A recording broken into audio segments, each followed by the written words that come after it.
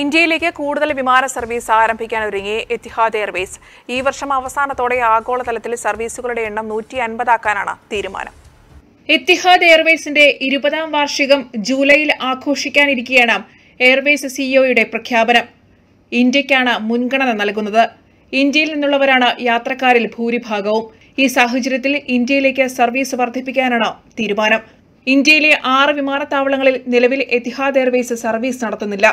ഈ മേഖലകളിലും സർവീസിന് എത്തിഹാദ് എയർവേസ് താൽപര്യം പ്രകടിപ്പിച്ചിട്ടുണ്ട്.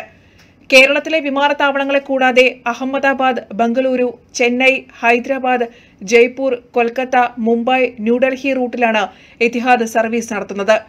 ചൈന തെക്ക് കിഴക്കൻ Asia India G C C രാജ്യങ്ങൾ എന്നിവയെ യൂറോപ്പുമായി ബന്ധിപ്പിക്കാനുള്ള കൂടുതൽ സർവീസുകളും എത്തിഹാദ് നടത്തും. യാത്രക്കാരുടെ എണ്ണം മൂന്നിരട്ടി വർദ്ധിപ്പിച്ച് മുപ്പത് ദശലക്ഷമാക്കാനും പദ്ധതിയിടുന്നുണ്ട്. പുതിയ തീരുമാനപ്രകാരം ഈ വർഷം അവസാനത്തോടെ വിമാനങ്ങളുടെ എണ്ണം നൂറ്റി അൻപതാക്കും N T V Abu Dhabi.